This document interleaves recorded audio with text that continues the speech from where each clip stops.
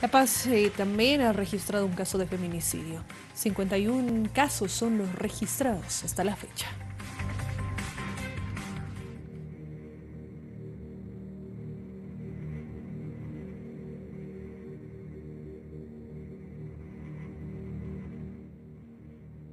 Sábado asumimos conocimiento de una joven desaparecida, donde la División de Trata y Tráfico de Personas de la FLCC de la zona sur eh, obtiene la fotografía y empezamos a hacer la publicación como persona desaparecida.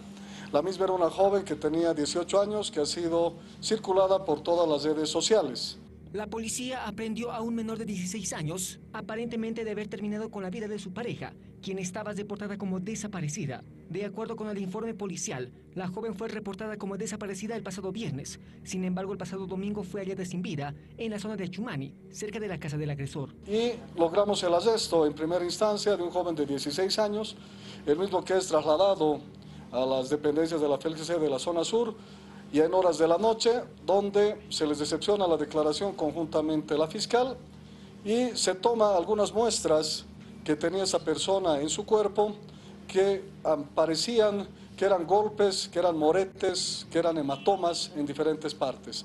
La autopsia legal reveló que la víctima de feminicidio falleció a causa de un traumatismo cráneoencefálico expuesto. El adolescente será imputado y derivado ante un juez por el delito de feminicidio. En el interior del mismo empezamos a colectar su ropa, en el cual se encuentran evidencias de sangre, los zapatos, como bien decía el coronel Segada, a cargo del personal del ITCUP, y posteriormente, después de una entrevista que se realiza a, ese menor, él mismo confiesa haber dado fin con la vida de esta joven de 18 años. En aproximadamente 24 horas la policía investiga cuatro feminicidios registrados en Tarija, Oruro, La Paz y Cochabamba. Con estos últimos casos la cifra supera los 50 hechos donde vidas de mujeres fueron cegadas.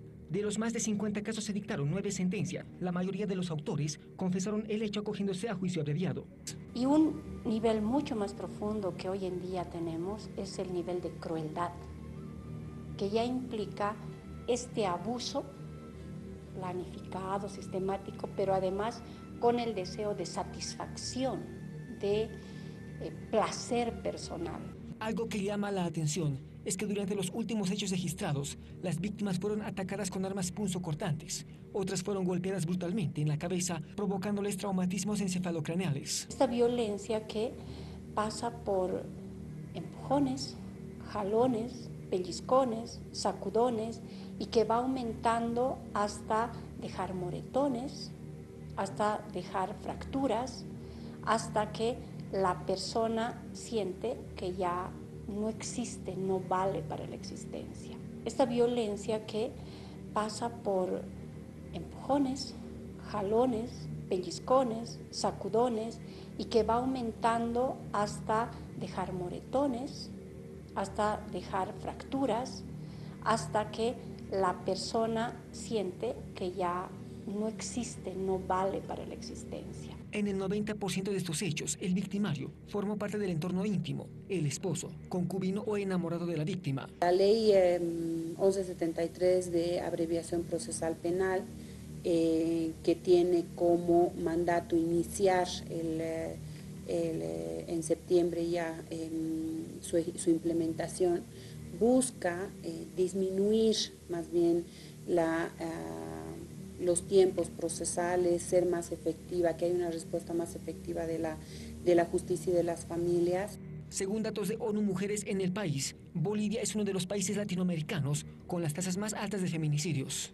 La gestión pasada se registraron 109 feminicidios. Se debe tomar en cuenta que mucho antes de que se registren feminicidios, la mujer sufrió golpes, gritos, empujones. La violencia sufrida no solamente es física, sino psicológica. Si usted es víctima de violencia, no calle y denuncie. 814-0348.